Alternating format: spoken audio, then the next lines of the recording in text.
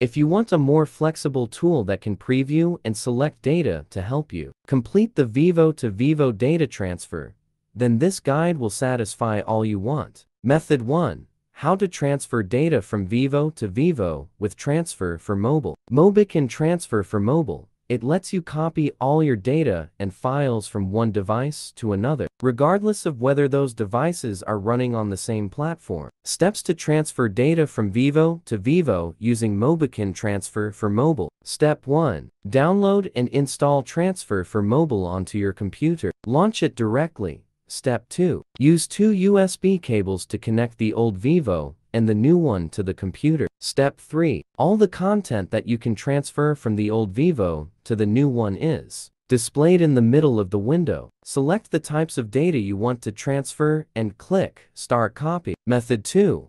How to transfer files from Vivo to Vivo with Vivo EasyShare. You can also use Vivo's official Vivo Transfer app. EasyShare to transfer data from old Vivo to new Vivo. It is also very simple to use. Method 3. How to copy data from Vivo to Vivo via Google Drive. We can also use Google Drive to transfer data from Vivo to Vivo. Method 4. How to transfer data from Vivo to Vivo via Bluetooth. The last method is to use Bluetooth. Because this method has so many drawbacks and limitations, I put it last.